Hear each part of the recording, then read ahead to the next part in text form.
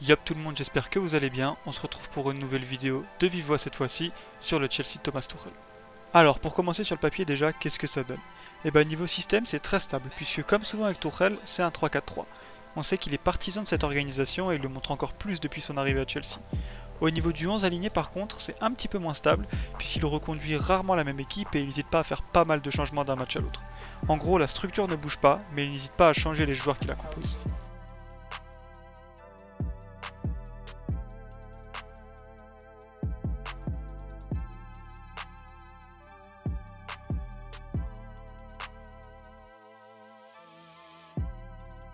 La priorité de Chelsea avec le ballon, c'est de trouver des joueurs face au jeu. Il y a énormément de situations où deux ou trois joueurs utilisent un appui et une remise pour créer du mouvement, trouver un appui dos au but qui remisera ensuite lui sur un joueur de face et faire ainsi avancer le ballon comme sur cette séquence par exemple.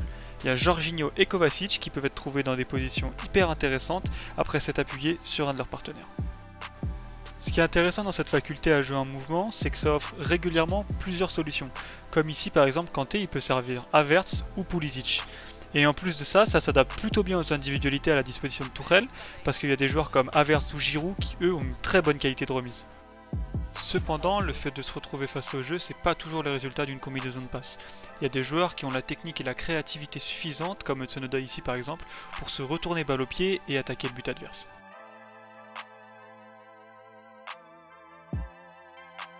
Comme souvent avec Tourelle, ces équipes ont des circuits de relance particulièrement clairs et définis, ce qui donne souvent lieu à de très bonnes sorties de balles.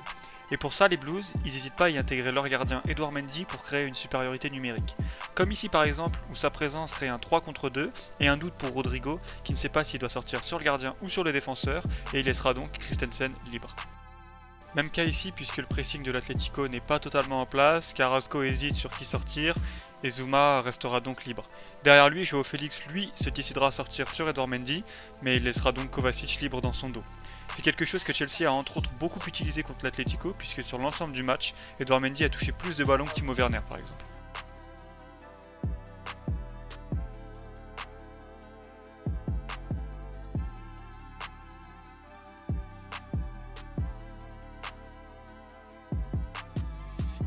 Un autre procédé que Chelsea utilise beaucoup pour sortir le ballon, c'est fixer et renverser.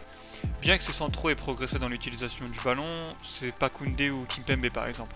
Et donc ce genre de procédé, où on amène le bloc adverse d'un côté pour très vite renverser de l'autre et attaquer l'espace libre, ça permet de mettre les défenseurs dans des meilleures conditions pour ce qui leur est demandé balle au pied. Là, on voit clairement le bloc de l'Atlético qui coulisse. Rudiger n'a pas de solution, il va donc servir Kovacic et tout de suite se démarquer derrière pour lui proposer une solution face au jeu. Cependant, Kovacic, lui, il va réussir à se retourner et à servir à Spilicueta rapidement, qui aura de l'espace libre à attaquer balle au pied. C'est les deux avantages principaux de la défense à 3, la supériorité numérique et l'occupation de la largeur. Cependant, même si les centraux de Chelsea ne sont pas les plus doués techniquement et qu'ils sont bien aidés par les schémas mis en place par Tourelle, ils ont beaucoup progressé et montrent maintenant beaucoup de personnalité que ce soit par la passe ou balle au pied, comme Christensen qui n'hésite pas à attaquer l'espace ouvert sur cette séquence.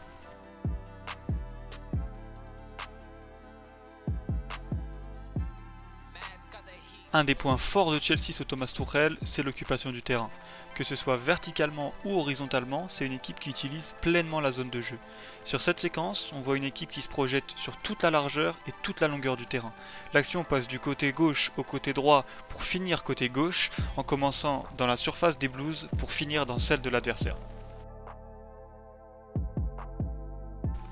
Pareil ici avec une action qui commence d'un côté pour finir de l'autre.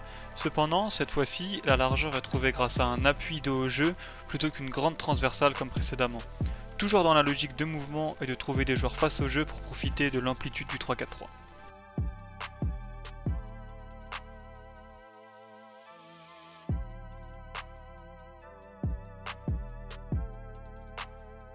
Sur cette séquence, c'est une action type.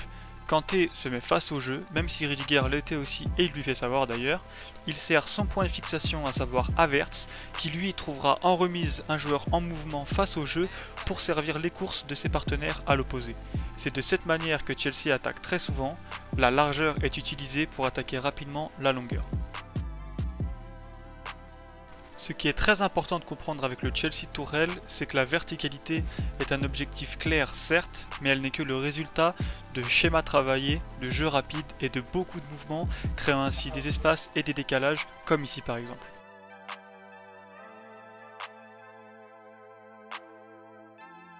Comme on a pu le dire précédemment, le profil des joueurs offensifs est très bien utilisé par Tuchel.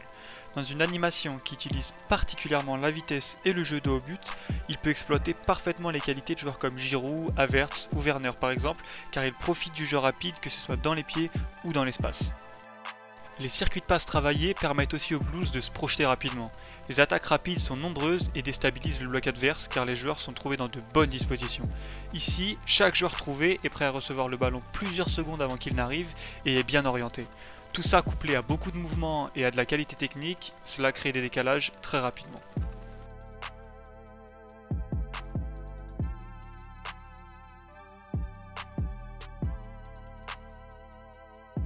Même si on sait que Tourelle est un adepte du jeu au sol, de la construction, etc., son équipe n'est pas pour autant stéréotypée. Dans les matchs où le pressing est plus fort et où les espaces sont plus grands, les Blues n'hésitent pas à allonger pour utiliser les remises ou la vitesse de leurs attaquants. La grande taille de Havertz ou Giroud ou les remises de ces derniers plus Werner sont souvent utilisées pour faire monter le bloc, voire même l'installer dans la moitié adverse en allongeant sur l'un d'eux et en jouant le second ballon.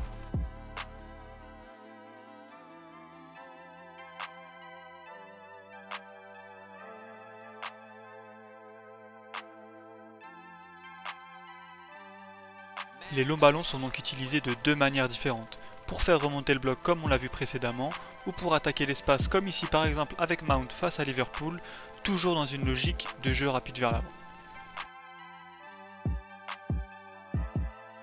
Même si c'est plus rare, il est aussi possible de voir le centre allongé lorsque le bloc adverse est en place, ne laissant ainsi aucune solution pour profiter d'appels de joueurs lancés.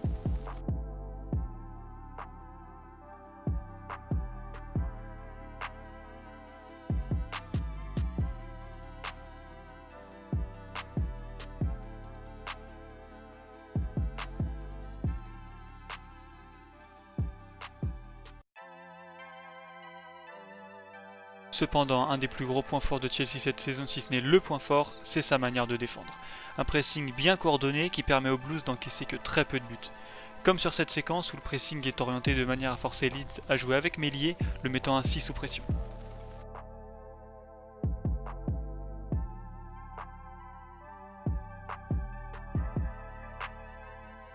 Le pressing de Chelsea est très intense et tous les joueurs sont impliqués. Les centraux adverses n'ont ainsi aucune solution axiale pour faire avancer le jeu. Soit ils jouent avec le gardien qui lui devra subir la pression, soit ils jouent avec leur latéral et se feront enfermer sur le côté, comme ici par exemple. Lorsque l'adversaire choisit de jouer sur le latéral, le pressing s'articule souvent de la même manière. Un joueur vient fermer la passe en retrait, un autre ferme l'axe et le dernier sort sur le porteur pour le forcer à prendre une décision rapidement. Cependant, ce qui garantit le bon fonctionnement de ce pressing, c'est l'implication de tous, et particulièrement des joueurs offensifs. Cela avait été pointé du doigt lors de son passage à Paris notamment, où ces derniers n'étaient pas assez impliqués défensivement. Que ce soit Mount, Werner, Havertz ou Ziyech, tous sont très actifs et agressifs à la perte du ballon. Nombreux sont les ballons récupérés grâce à leurs efforts. Leur implication est primordiale dans l'animation défensive de Tourelle, puisqu'elle permet à Chelsea de souvent récupérer le ballon très haut sur le terrain.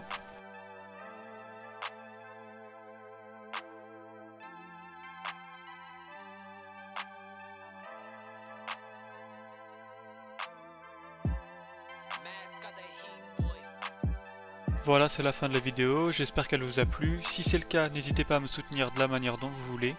Comme vous l'avez vu, j'ai fait pas mal de changements dans le montage ou même en ajoutant ma voix pour rendre le contenu un peu plus agréable et un peu plus ludique. Si vous avez des conseils à me donner pour encore améliorer la qualité des vidéos, n'hésitez surtout pas à m'en faire part en commentaire. Prenez soin de vous et de vos proches, à bientôt.